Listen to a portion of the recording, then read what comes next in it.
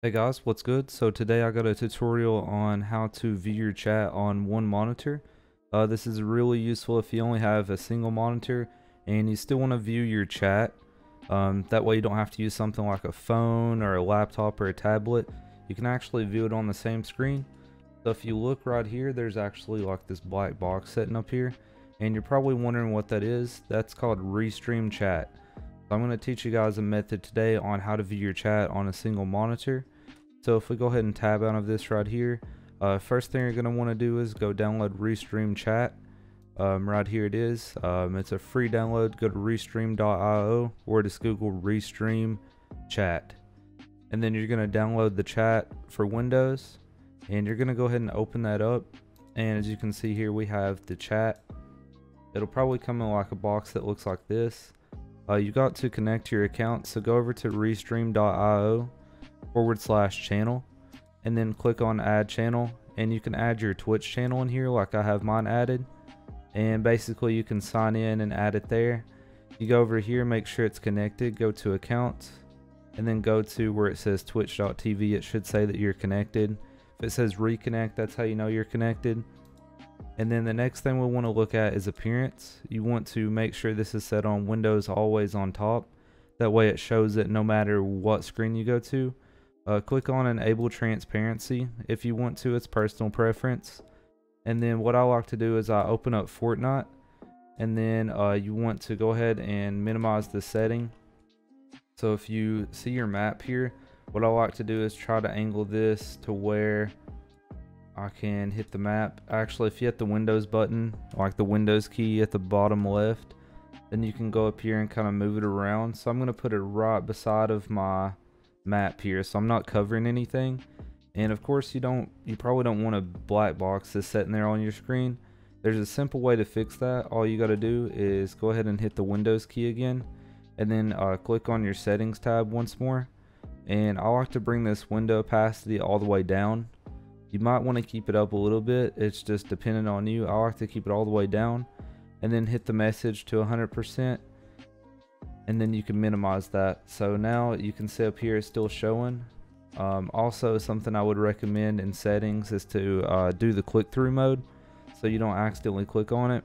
What this does is you have to now hold down the control key and then click to interact with it. So you can click through it now and go to your menus and if you hold down control as you can see here you can't click into your menus you're clicking into restream and that almost has it set up the last thing we just got to do is test it out go ahead and close out of your settings here. You can set your font sizes as well.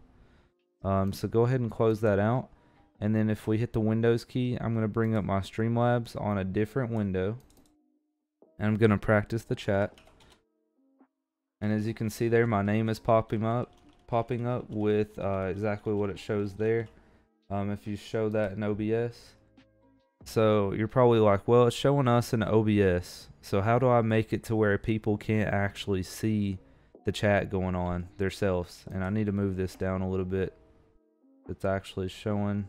Oh, no, it's not. It's just where it was clipping there. So people will be able to see this. So you got to actually fix some settings in your game. So go over to your game settings. Make sure your window mode is on full screen window. It will not work if you're on full screen. You're not going to be able to see your chat. Once you're on full screen window, hit apply. And then bring over your Streamlabs OBS or OBS, whatever you're using. And then uh, make sure that you're running your Fortnite as a game capture instead of a display capture. If you run it as a game capture, and I already have mine set up, so game capture, mode specific window, and then click on window must match title. And then uh, of course you click on Fortnite.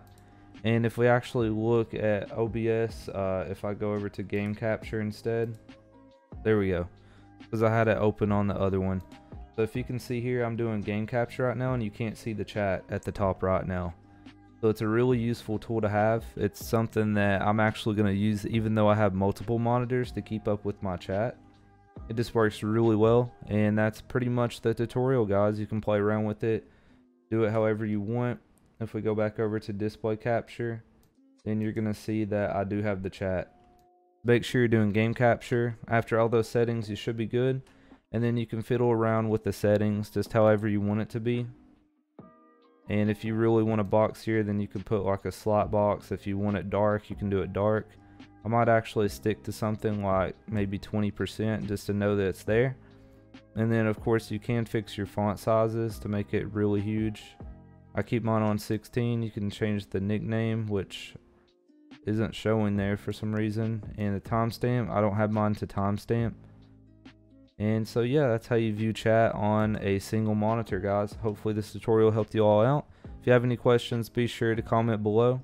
And thanks for watching. I'll see you in the next one. Peace.